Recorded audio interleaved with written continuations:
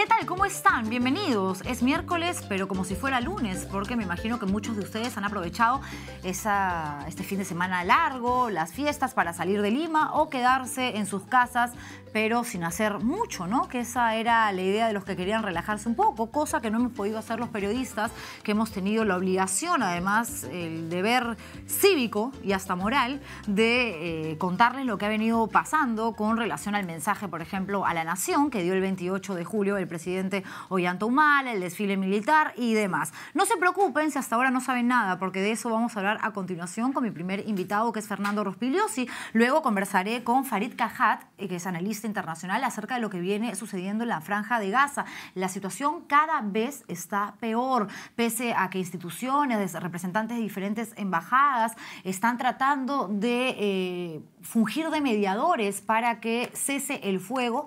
Israel ha dicho que esto tiene para rato y por el otro lado el grupo eh, Hamas y Palestina dicen que la culpa la tienen eh, los eh, israelíes, que por lo tanto ellos no van a hacer absolutamente nada y que simplemente tienen que defender lo suyo. Bueno, en esos términos es difícil llegar a un acuerdo y si los que quieren ser mediadores pues no pueden porque no los dejan, no sabemos en qué va a pasar, en qué va a terminar todo esto, pero realmente es preocupante. Al terminar el programa voy a hablar con Bacha y Chinón. ¿Quiénes son? Dos conocidos directores que tienen una casa realizadora muy conocida que se llama Señor Z. Ellos ah, no solamente hacen comerciales, publicidad, sino también eh, Los Cinéfilos, esta serie que se mueve en redes, que es maravillosa, muy divertida.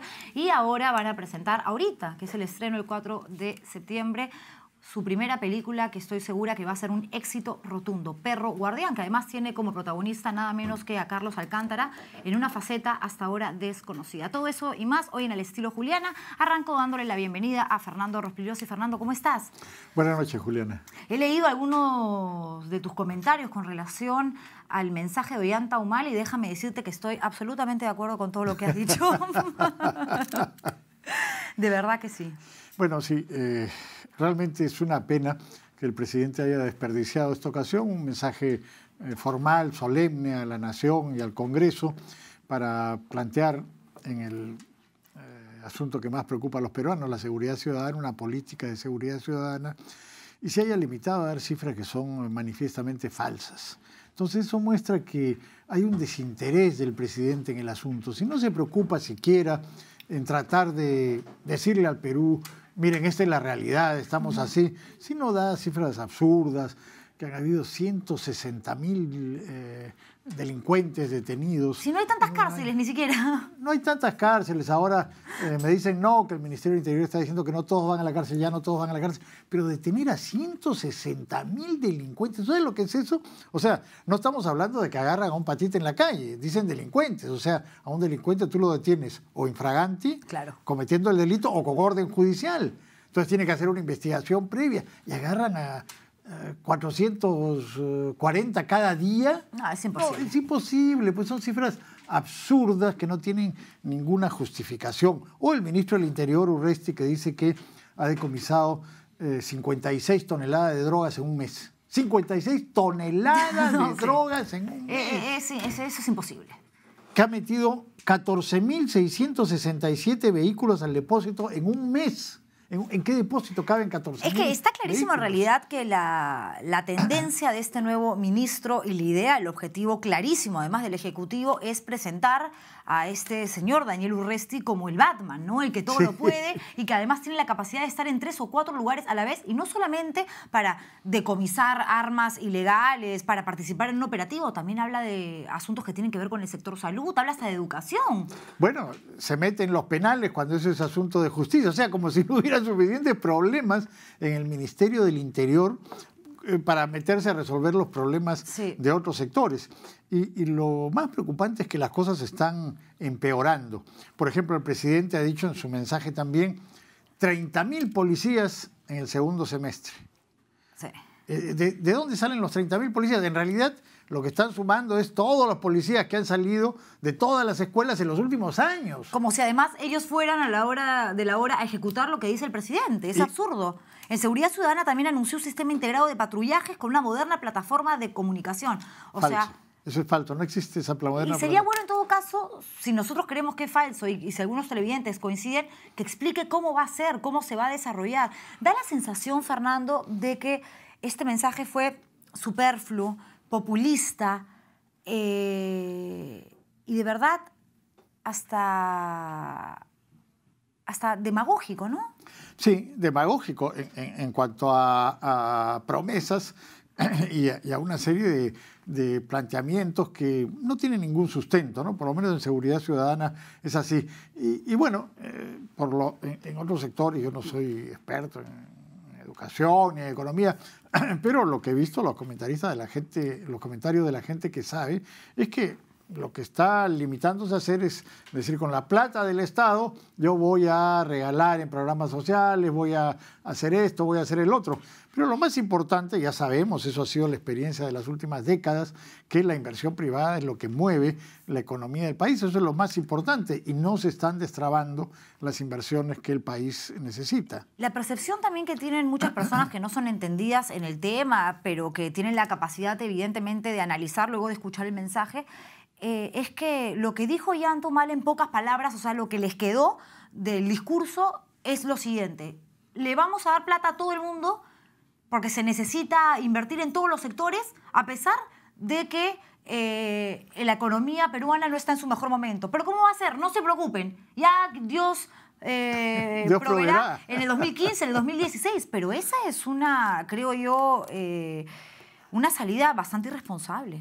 Claro, o sea, eh, si estamos en una situación en que la economía está decreciendo, eso está eh, clarísimo, estar creciendo al 6, 7, 8%, de pronto en los últimos meses al 2%, al 1.8%, entonces ya, eh, entonces un presidente que fuera un líder realmente diría, miren, estamos en una situación preocupante, no es para alarmarse, pero hemos caído y para salir de esto, lo que vamos a hacer es lo siguiente. Pero, como tú dices, lo que está ofreciendo es plata por todas partes y si la economía está retrayéndose, la recaudación del Estado es menor. O sea, hay menos plata que antes, sí, pero está ofreciendo gastar más. Claro. Entonces, hay una contradicción ahí que si fuera un estadista realmente habría explicado.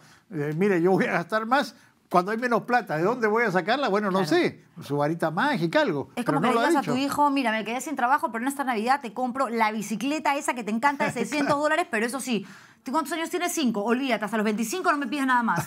¿No? O sea, es como ponerle paños fríos a una situación que está bastante caliente, eh, políticamente hablando, sin importar lo que venga mañana, solo para bajarle la temperatura a una situación que, lo, perjudicó, eh, atentó contra su imagen y eso lo dicen las encuestas donde hay una baja en la percepción con relación al trabajo que viene haciendo Yanto Humala y compañía refiriéndome a, a Nadine Heredia. Además, el mismo día del mensaje, Habría uno el diario oficial el peruano y ya estaba el decreto este de urgencia donde Ollanta Humala, firmado evidentemente por todos los ministros, aprobado por todos los ministros, hablaba de todos estos aumentos. Lo que hizo en realidad a la hora de entrar al Parlamento fue prácticamente resumir lo que decía el peruano.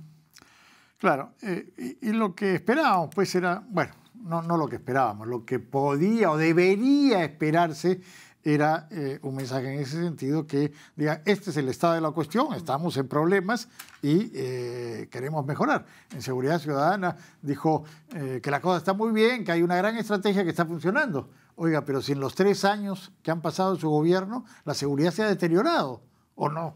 es lo que dice la cifra, las cifras que hay las encuestas de victimización, de Latinobarómetro, de Naciones Unidas, del INEI, lo que dicen es que la situación se ha deteriorado y lo que dice él es que las cosas están mejorando. Entonces, eh, no podemos creerle, pues eh, eh, es malo decir cosas que no son ciertas y que la gente no va a creer porque eso lo desprestigia a él. No, además, claro, Daniel Urresti tiene poquitísimo tiempo en la cabeza de la cartera del Interior. El tema de seguridad ciudadana era un punto clave que la gente quería que el presidente desmenuzara, porque se le, preguntas a cualquiera, a cualquier peruano común y corriente, como tú, como yo, como los chicos que trabajan acá en el set, van a decir, no me hablen de salud ni siquiera de educación. Ahorita vamos con lo que más preocupa, la violencia, la delincuencia en las calles. Y de hecho Urresti está haciendo mucho por aparecer, ¿no? Públicamente con la pistolita, en el operativo, viajando para acá, para allá pero todo como que en micro, ¿no? Trabajando en micro cuando el tema es mucho más complejo y tiene que haber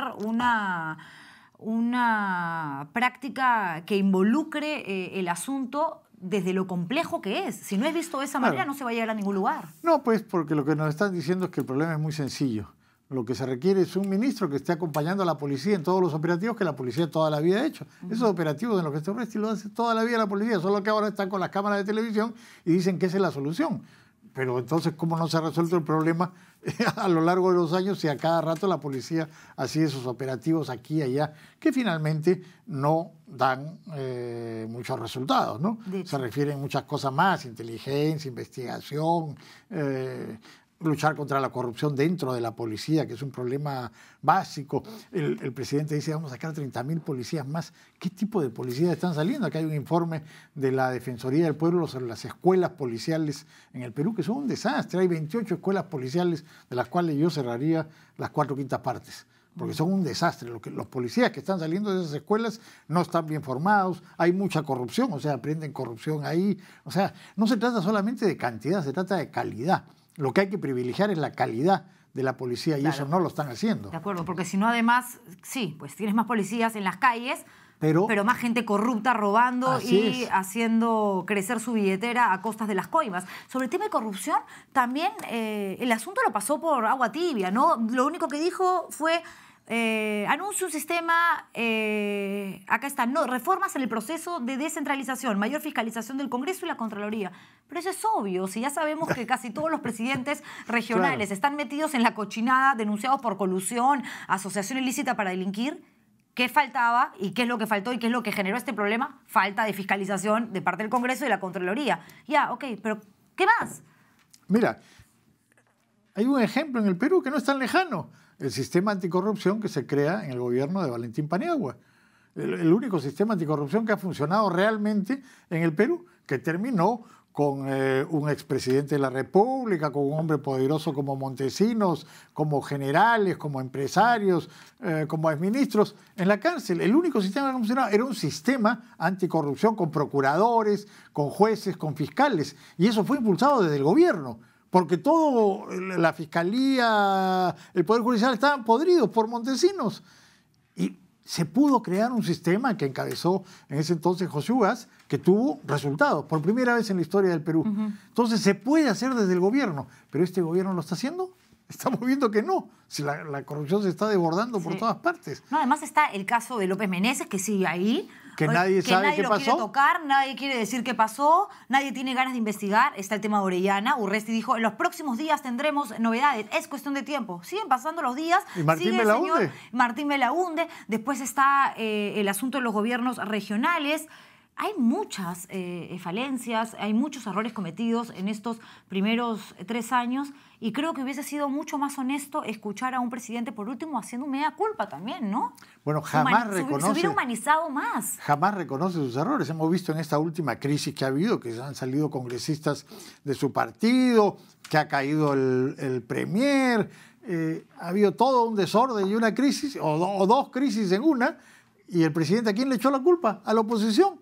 Todos eran problemas. Y a los periodistas, no te olvides, y a, ¿ah? y a los periodistas también. Todos eran problemas creados en el propio gobierno y fue incapaz de reconocer, bueno, hemos tenido problemas. Incapaz, le echó la culpa al, resto. O sea, no tiene ningún liderazgo. Pues un líder reconoce mm. sus errores, reconoce sus problemas, los admite y dice, miren, los voy a superar de esta manera. Este no, este simplemente se limpia y le echa la culpa a cualquiera que pasa por ahí.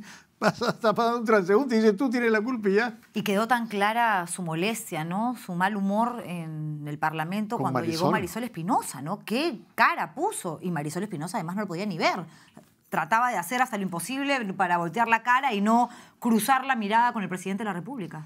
Y es la única vicepresidenta ahora, porque el otro tuvo que renunciar, pues, eh, Omar Chejade. Pero eh, eso muestra pues que los que no son eh, adictos y obsecuentes al 100% no tienen cabida en el entorno humanista. Marisol Espinosa no es una opositora, no es una adversaria, no, no ha hecho cosas terribles, simplemente no es obsecuente al 100%, ya No, simplemente quiso postular que además no hay ninguna ley, ninguna norma que impida que una primera vicepresidenta quiera ser además presidenta del Congreso. Es que como vicepresidenta no tiene ninguna función. ¿Qué hace, pobre? Nada. Y, entonces quería tener digamos, alguna, pues. alguna, presencia. Claro, porque cuando, ¿sabes que cuando Humala se va de viaje ella y, ella se queda, claro, pero no le dan nada. no le dan ni escritorio en el Palacio, no le dan un solo papel para firmar. O sea, está completamente limitada, la maltratan de una manera absurda, que no tiene sentido, no tiene por qué ser así. Eso discutía con Sergio Tejada, ¿no? El día que hablaba acerca de la supuesta decisión ¿no? democrática de elegir a Ana María Solórzano, que ya sabemos que tuvo, tuvo de todo menos de democrático. Pero, claro, o sea, ¿En qué momento se ha visto que Ollantumala ha viajado y que Marisol Espinosa haya tenido que solucionar un problema de trascendencia internacional o firmar un decreto? Jamás. Nada, decreto, ojalá, un papel, un oficio, nada, no le dan nada. Un mensaje de texto, nada, Fernando. Ni siquiera un lápiz y un papel no le dan nada. Sí, es cierto, es cierto. ¿Qué tenemos que esperar para terminar, Fernando, este cuarto año que recién se inicia el gobierno de Ollantumala? Yo creo que un poco más de lo mismo, pero yo creo que sí la eh, sociedad, los medios de comunicación debemos presionar para que por lo menos las cosas mejoren en algunos sentidos. Ah, un grupo de, personas, por ejemplo, nos hemos reunido para discutir el problema de seguridad ciudadana, hemos hecho un pronunciamiento, he propuesto alternativas. Yo creo que la sociedad tiene que movilizarse eh, en, todos los terrenos para que esto avance, aunque sea un poco, que no se quede estancado o empeorando como están eh, sucediendo en muchos aspectos y que ojalá el 2016 no tengamos una experiencia tan nefasta como la que hemos tenido con Humala en este periodo. Sí, es terrible. Y además el tema de corrupción, yo insisto en que se le debió dar la importancia que tiene. Porque si algo está podrido, contamina el resto, contamina todo y vamos a terminar en una situación donde vamos a estar embarrados hasta aquí y tú ya sabes de qué. Las cosas han llegado hasta nivel, o sea, en la fiscalía nunca hemos tenido un caso como ese, en el anterior fiscal de la Nación y el actual están metidos, En, el problema de ANCAS protegiendo a los corruptos, ¿no? Eso, es gravísimo. nunca habíamos llegado a una Nunca hemos visto un ministerio público que diga que no se puede dar abasto para todas las investigaciones que tiene que hacer, sin embargo realizan una conferencia de prensa para anunciar ellos que no son jueces, que Edita Guerrero fue asesinada y que no fue un aneurisma. Tremenda cortina de pues ya, como si no estuviéramos curados de estas cosas. Sí, la verdad. Qué bueno tenerte aquí, Fernando, poder hablar así en vivo y en directo. Hace rato quería conversar contigo, te invitaba en el programa, pero tú estabas muy ocupado y llamarte yo dije, no, mejor no porque después nos chuponean. ¿Ah? A ti que te siguen. ¿Ah? Sí, sí, que te marcan. Ahora, ahora que, están desbocados los servicios de inteligencia fuera de control. ¿no? Una de las responsables es Ana María Solórzano, que era eh, presidente de la Comisión de Inteligencia y que debió supervisar esto, pero al contrario, le echaba tierra, tapaba todas las cochinadas que se hacían ahí. Imagínate, es terrible, ¿no? Uno empieza a revisar lo que hay en la cloaca y se encuentra con cualquier tipo de cosa. Gracias, Fernando, por haber estado. Un placer. Gracias, Juliana. Nos vamos a una pausa comercial y regresamos con Farid Cajat, analista internacional, para hablar de este asunto que también preocupa mucho. ¿Por qué? Porque el Perú, a través de eh, la Cancillería, envió un comunicado al primer ministro israelí manifestando la posición del Perú con eh, relación a lo que está sucediendo y esto ha sido muy mal tomado. La guerra continúa en el Medio Oriente, las cosas están mucho más complicadas de las que ustedes creen. Mueren cualquier cantidad de civiles y niños, sobre todo en la franja de Gaza, y no podemos en realidad hacernos eh, hacernos lo de la vista gorda y decir, no, acá no pasa nada, esto no eh, repercute en nuestro país. De una u otra manera sí. Y así no fuera, tenemos que solidarizarnos porque no es justo lo que está pasando y menos cuando hay mujeres y niños de por medio. Regresamos después de la pausa comercial, no se muevan.